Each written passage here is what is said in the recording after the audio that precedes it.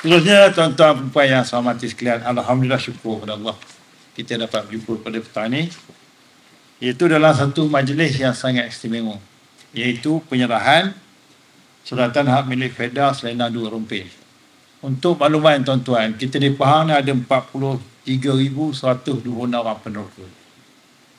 Dan ketika ini kita telah bagi suratan hak milik kepada peneroka di Pahang ini ialah 40,538 orang. Yang kita dah bagi. Termasuklah hari ini di Selendang ini seramai 132.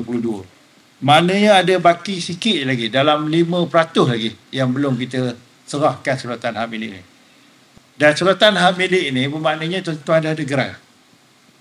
Tanah yang tuan-tuan ada yang dapat yang kerajaan negeri bagi dulu tahun 60-an dulu maknanya pada hari ini tuan-tuan dah ada suratan hak milik. Cuma pesanan saya jangan tuan-tuan jual pula tanah ni.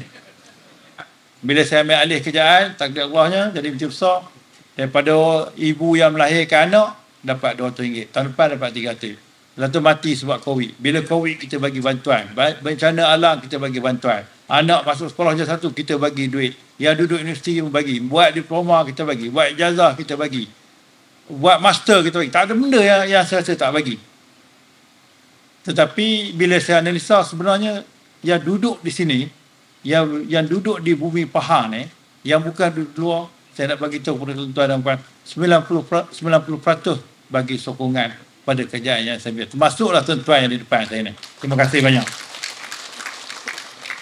Saya fikirlah macam-macam. Ini pun gerak ni saya nak saya nak bagi tahu eh, doktor ya saya ingat dalam masa 2 3 2 3 tahun ini settle lah 100% semua peroka akan mendapat grant di bumi Pahang ni Kemudian uh, uh, ni naik tarah surau Selendang 2 ni.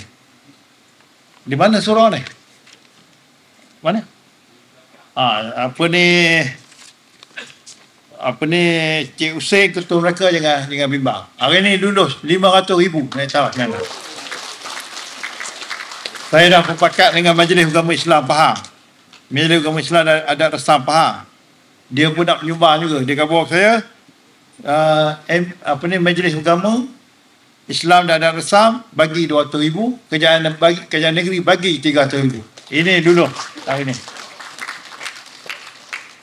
ini bukan gula-gula pilihan raya kita dah buat kerja-kerja kebajikan untuk rakyat dulu dulu kita yang pentingnya tuan-tuan dan puan kita kerajaan negeri yang ada pada hari ini akan terus bangkit untuk memastikan rakyat negeri Pahang mendapat pembelaan dan negeri kita aman dan makmur.